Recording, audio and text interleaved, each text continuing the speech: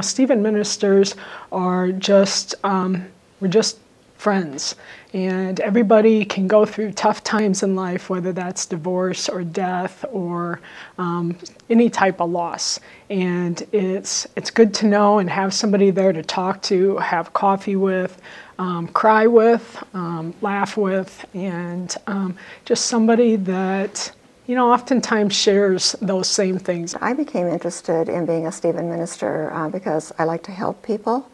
And at the point in time uh, when I explored the program and started it, I was in the process of losing my job.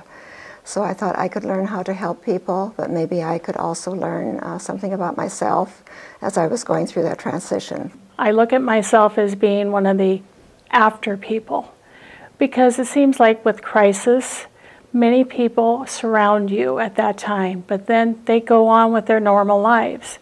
Then you're kind of left there as the person in crisis with not necessarily somebody to talk to about what you're feeling still and your your um, frustrations, your emotions, and I want to be the person that can be walking with that person when everybody else has left.